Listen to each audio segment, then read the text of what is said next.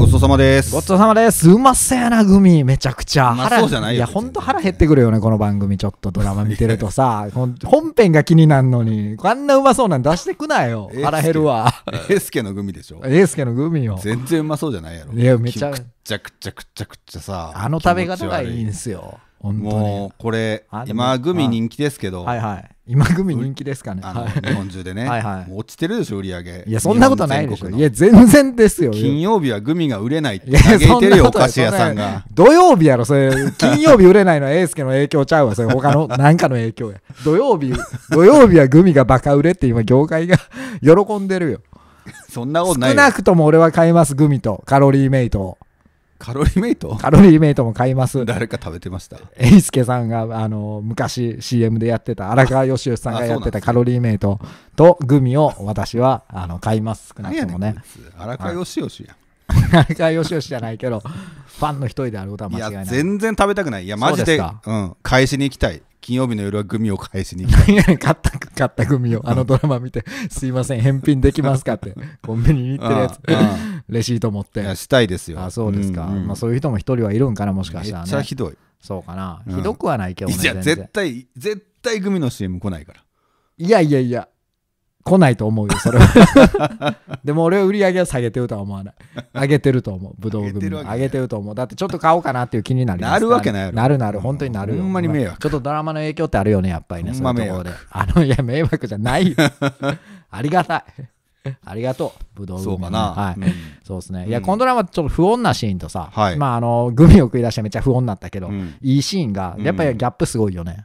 あの、孫先生のシーンとかめちゃくちゃ良かったよ。魚住と孫先生のやりとりみたいな。ああまあようんそうだね。うん、すげえ切ねえなっていうようなところがあったりするけど、うんうん。まあ、あの、あの孫先生も、はい。ちょっと心残りの部分が、孫先生がまあちょっとね、言い残した部分がね、めっちゃうまくいったけどなまあまあ作戦としてはね、めっちゃうまくいきすぎてるけど。いやいや、そんなことないよ。あれ、あれが、あれが計算通りですよ。あそうですか？はい。うん。あのタイミングで寝るのも。あのあのタイミングで寝るのが一番そうよね。当たり前な当たり前のことですよ。うん。その孫先生毎回そうなんじゃないの？そうか。そうか。はい。まあそれでしかないよね。あれでしょ？だから魚住が帰るタイミングとかでしょ？変えるそうそうだから収集がつかへん。どう帰るんやろうなって思って。どう終わんねんこのかこの二人の会話と寝りゃいいのよ、でもそれはちょっ たまたまやろと。かな。まあ毎回寝てたとかそんなんなんかなう。うんそうかねはい。まあそうね。でまあでもよかったよね、あっこはね。なんか心の方はちょっとジーンとはきましたよ。うんまあそうですよねうんまあ原田もねよかったな原田もね。うんあ、そうやね。原田もよかったね。うんあの、実体化してたじゃないですか、原田が最後に。そりゃするよ。そこ納得する 不思議なことは OK やねんなそれ。まあでもさあの、うん。ああいうふうに最後に1回だけまあできるとか、まあ、うんそういうことのなんかルール的なことがまあまあ最後につけられたとしたら、うん。もうでもラストシーンそうなってきそうやねどうかな？読めないな。そうか。直樹も1回実体化できそうじゃない？あれができるんやったらば。いやーどうやろうな。できんのかな？うん。できそうな気はするけどな。あれ先見せてるってことはうん。なんかラストで直樹が結衣の前に現れてうん。一言言って消えていく感じなのかなって感じはちょっとしますけどね、まあそういうまあそうやそうなんかうん。ないやそれちょっと考えもしなかったですけど。そうかんそうですか、うん。みんな見ながらみんな考えるようなことやと思うんですけど。そうかな。思はい。ついた人いんのかなそれ。いるやろ。今来るやろ。共感で話せるものかなと思ってましたよこれは。ね、うん。はい。まあでもあのーそうですね。まあ、うん。そういうそのいいシーンというかいいシーンもあるけど、その怖いシーンは怖いなっていうところですけど、も理由は知りたいよ。理由ですか、うんそうとは言え。何の理由ですか？実体化できた理由。あ実態ができた理由ね、うんうん。原田もはい。はい捨てたからいいはい。はいやんとはならへんからね。ああまあまあまあどうなんかな、うん。理由あるんかなちょっとね。理由ななしかいな。理由どうなんやろうな。一回はそういうのあるってこと？一回の最後のサービスでみたいなことは。それでいいのか？それはまあお姉ちゃんがそう言ったらありそうやな。古文書で見つかったらあありそうやし。もうそれ見つかったら OK よ。あーそうやろ。ここに書いてや全部叶うんやからそうなるでしょ。うだからうんまあそこはそうかなとは思うんですけどね。うんまあでも理由といえばうん。気になるのはうん。まあ結局その直樹が殺された理由がちょっと気になるなっていういやこれだから気がしますよもう今3つ気になりすぎてわけわからん3つ？っていうか大きく三つ2つやけど大きくまあ二つどれとどれまあだから殺人のそのはいはい。あの方？はい。まあき事件の方も気になるけどはいはい。まあその2人の今後どうなるのかだから残るのか消えるのかっていうあ直樹問題と結衣がっていうことでねはいはい。まあもっと言うとあそのいろんなルールがあるからうん。あの生き返れるっていう噂まではいはい。今回しっかり描いてたから、はいはい生き返るのかどうかね、まあそこは古文書次第やからどうしようもないところですよ。なんやどうしようもない予想はどうしようもできないところですよ。なんでやえ、だから古文書次第やから予。想せ予想はできないよ。古文書次第えいやだだからその話を聞きたいです、その話はしません。ねえあの 予想できそうな方します。まあでもほぼほぼさ、うん事件の方でも全解明されてるようなものじゃないですか。されてるけど、うんまあ犯人は分かったよ。犯人はね、エースケやっていうところで分かりましたよね。で、えっと、うん。まあ、エースケはなおうん。何を反対されたんかいまいち分からなかったな。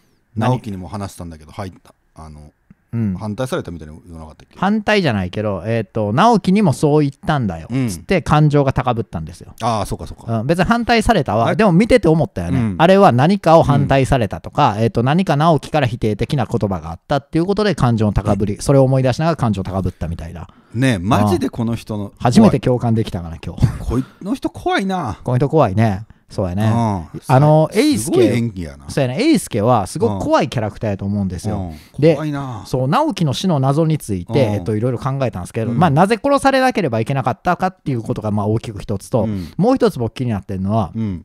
遺体を埋めずにああいう状態ではあの放置してたもの。ブルーシートかぶせてたじゃないですか、うん。あれはなぜだったのえかと思って。ああだから土の下にってこと？もっ普と見つけづらいように。うん普通は分からへんけど埋めんのか？うん、まあうん。普通は分かれへんけどとか言われたらうん。喋りづらいけど。う ん経験者じゃないわけ あそうやなまあ埋めるのが、うん。えっ、とセオリーですよ。こういう事件の。普通と一緒やん本当に。に一般的な方はね。そうやねんけど。まあまあまあよく見るね。本当にね。あのードラマとかでもよく見るね。これ遺体埋めてるのがね。埋めた方が見つかりづらいんかだから。そりゃそうや埋めるとか沈めるとかな。まあ、ブルーシートよりは見つかりづらいよね、見つけやすいよね逆に。だから、うん。あの見つける側となった時にブルーシートの場合は。地面埋まってる方が見つけづらいまあまあそうやけど。うん。ただまあそうだね。店に置いてる方が見つけやすいけど。一番見つけやすい、うん。それ見つかりにいってるよな、うん。一番。だから見つけ見つけやすくしたかったわけじゃないと思うんですよ。ブルーシートをかぶせてたということは、うん。見つけづらくはしたかったはずやと思うんですよ、うん。だけど埋めなかった。っていうのがなぜなのかっていうのが気になると、うん。気になってるんですよ。はいはいはい。ろいろ考えるとあの今回の英介の言動から考えたんですけども、えっと全てはこう英介のこううん。夢のためやったのかなと思って。叶えたい夢。え？あの英介には、まあ、うん夢があると思うんですよすごくね。英介との埋めないっていう。え？埋めない。埋めないという夢というよりは、うん。埋めるという夢やねんけどまあ聞いてくれよ。埋めるという夢をね叶えるためですよ。あのゆいとのか関係ありそうやな。ゆいとの会話の中にね、うん。結構動機が隠れていたいたかなとちょっと考えててうん。すごくめちゃくちゃ変な人格やなと思ったんですよ。うん。子供のことを話してたじゃないですか。で英介が今まで子供に対して接してた、まあ、はい。あの、ふ直樹が見てたって知らんときに、えっ、と、うん英介が子供を助けに行ったときあるじゃないですか。あの時とかも子供に対しての、えっ、と、接し方っていうのは、うんちょっと、思いというのは、ちょっと本当に見えるというか、大切そうやなっていうふうには見えるんですよね。うんで、今回の、えっ、と、ゆいとの会話の中でも、子供のことは本当に大切そうに話してるようには思えたんですよ。そうですねはい。で、えっ、と、まあ、直樹に言った言葉っていうことを、うんえっ、と、話したじゃないですうんか。うん少しずつ夢が実現してるみたいな。はいはいはいで直樹にもそう言ったんだよ。での感情の高ぶりやったじゃないですか。うんうん。で、あれはそのマサルさん家を解体して、それ子供の場所にするっていうようなことはい。を、えー、としたいっていうこああ言っとですよ、ね。てたね。であれを直樹の死の直前に話してたのかなと思って。うんうん。で、えっ、と、うん。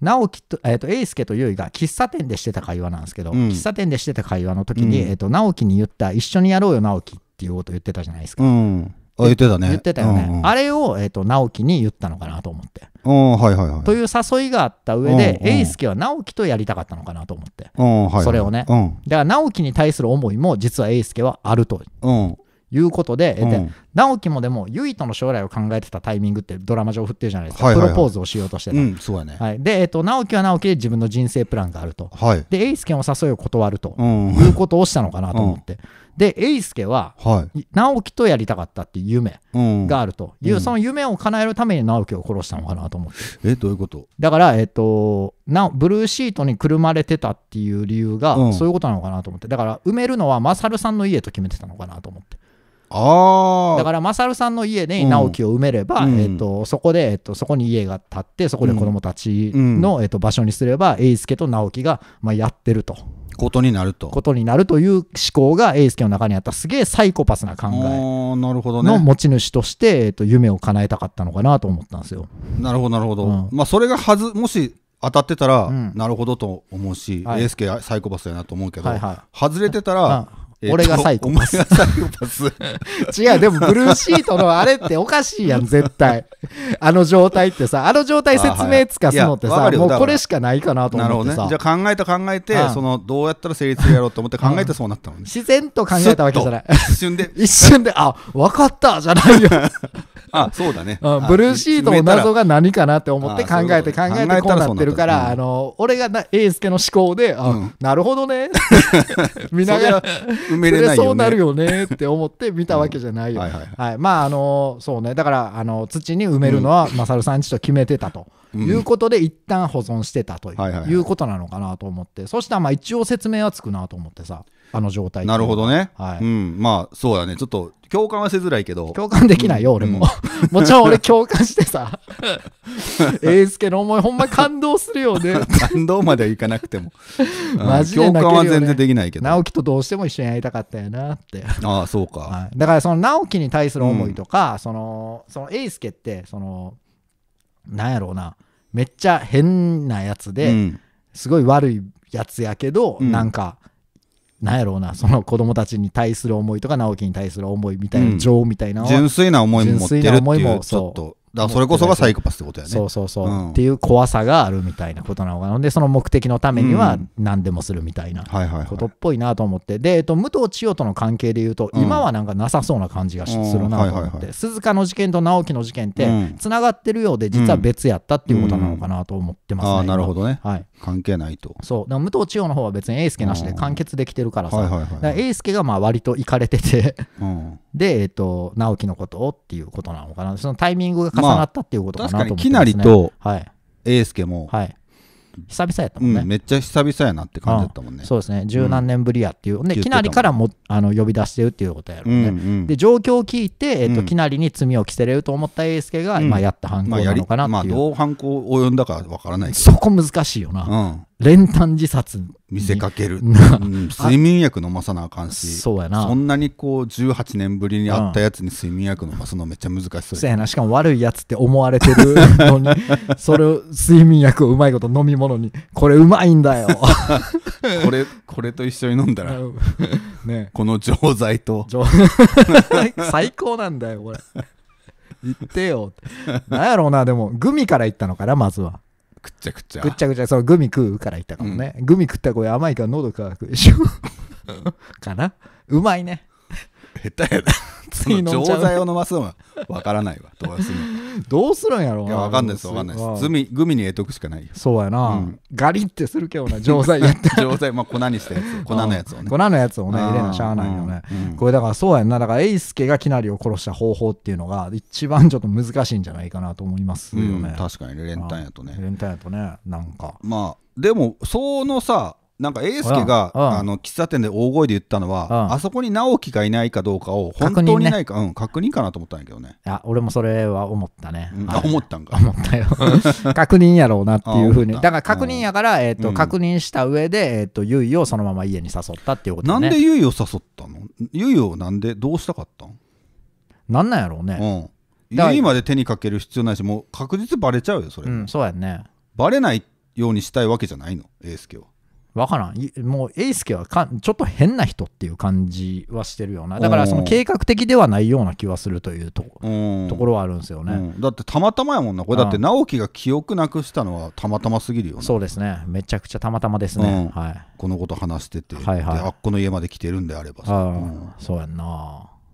いやめちゃめちゃたまたまよ、ううんん。そうだよね、うんだからエイスケの犯行が今バレてないとか、そのキナリに罪を着せたとかいうのも、はいはい。だからエイスケのそのキナリに罪を着せるって結構知能犯みたいな風じゃないですか、うんうん。でもエイスケを殺しあの直樹を殺したのは割と突発的な風に思えるから状況的には、うんで、えっとユイもちょっと手にかけようとしてるっていうのが、うん。エイスケのキャラクターっていうのがほんまに変すぎるんですよね。じゃあ英介が、うん捕まってないのはたまたま。たまたまやと思いますよ、ああはい。まあそうか、うん。確かに。グミ食ってる時に顔見えなかったのもたまたまやもんな。あれは光で。うんまあゆいが、そうやな、うん。あれはだからドラマ側がやってることやから、うん。ドラマ側がたまたまやったとしたらめちゃめちゃ運がいいけどな。まあそうだよね。はい、すげえ計算し尽くされた風に見えましたけどね。まあそうだよね。あの時、車に乗ってる時顔見てたらそもそもエースケうん。最初からやばいやつと思ってるはずそうやね。ゆいがねその、うん。そうね。ん。うん。八乗り行った時にもうすぐに分かるもんなそうだね。うん。ええってなるもんね。そうね、ん。忘れないからね、エースケの顔はね、なかなか。忘れづらいねあの忘れづらい。グミの食い方もね。そう、ん。背も高いしね。そうだね。うん、体型がっちりしてるし、うん、ん忘れづらいよ、ちょっと。マサルさんとあさあエースケの関係もうん、めっちゃわかるわけではないそうやねんな。だから、この孤児院っていうところが、うん。えっと、わからないのよね。あもっとだからここのってことか。先輩に当たるのか。かもしらんね。うんってことなのかな、うん、まあ多分そうなんだろうって感じだけどね、うん、そうやな。だから、そこはもう、多分でしかないというか、まあそうだね、はい。うん。まあ、話し方として、で、うん。えっと、まあ、ここを残す、なくなるのが寂しいとか、エースケ言ってたから、まあ、やっぱりそうなんやろうな。だから、そこでしばらく住んでたことがあるって感じのそうだふうにねは思えますよ、うん。エイスケに関しては。うん。そうだね。そうやな。まあ、マサウさんが悪い人じゃないって感じはするよね、やっぱり。悪くないんじゃない？広竹はね。うんいや、一瞬ちょっと疑った部分もあるああはいはいはいあるじゃない？うんなんかこう途中さ、話の途中。すまんねすまんねう、ん広竹でね。広竹はね。いやー悪くないでしょ悪くないですね春風亭春風亭。うんだ今度は悪い人は、うんえっ、と、まあ、武藤千代。で、まあ、きなり。そして、えっ、と、まあ、エイスケがすげえ変なやつっていう感じかな。うんうんすげえ変で悪いやつって感じか。はいいはうんで、鈴鹿は金遣いが悪いやつって感じやね。なんでうんまあそうなんかな、一番右列に何かが悪いやつが置かれてるね。ああそうかそうか。相関図の中で言うと、んそうだね、うん。それ以外は大丈夫って大か丈夫かな、うん。うん。大丈夫なんじゃない？樋口がちょっとわからない。でも。樋口マジでなんなんやろうな、うん。思い残しって。うん。まあ解決するんじゃない？でも。樋口の、うん。そうやな、解決せんままみたいなこともある。まあでもどっちでもいいけどな、樋口解決しなくても。そのまま幽霊でうんなんかさまよってても、なんかどっちでもいい感じはするけどな。うん。そうやな、解決してくれた方がいいか。うんしてくれた方がいいと思うでもそれよりもまあ消えるタイミング難しいけどな。ああそうだね直樹より先か、やっぱり。先でしょ先やね。うん直樹より後やったらおかしいもおんな。かしいしばらく樋口の樋口ストーリーを見とかなあかんもんね直樹と結衣の話が終わった後に結構こう悲しい結末やったとしたらすごい感情高ぶってる時に最後に樋口ストーリー見てるの辛いよね。まあそれか樋口消えずに、うん。えっ、と直樹が生き返ったパターンの場合はな、うん。樋口消えずに、うん直なんか分からんけど髪がめくれたりとかカレンダーがピューってあったりするの見て、あれあいるのかなみたいな。ああはいはい。そうねはいいかもしれない、そうね。それもいいかもしれないですね。それはあり得る感じはあるよね。うん、蘇り樋口のこと何も考えてないけど。そうやな樋口のこと何も考えてえ樋口に感情移入はできないからね こまのドラマ。あそれじゃあいい。何があったか分からんやつのただの幽霊まあ明るい幽霊やから。そうですね。はい、はい、思いますよ。はい、ちょっと、えっ、と、皆さんからのコメントも、えっ、と、はい、おそうですね待ちしております。いや参考にしてます。来週最終回じゃないんですね。そうですね、うん。後にはあるんですよね。そうそうだから、まあ、事件は来週で解決して、うん。再来週、まあ、直樹の選択というか、まあ、えっ、そうだね。と、うん、まあ、古文書のルールがまた新たにあるやろうからさ、まあ、そういうふうなうん。中でどういう選択をするかっていうのが、うん。まあ、最後、最終回になってくるのかなって感じがしますよね。ね。楽楽しみですね。しみですね。はい。ということで、はい。楽しみに見ていきましょう。ははいい、ごちそうさまでした。ごちそう。さまでした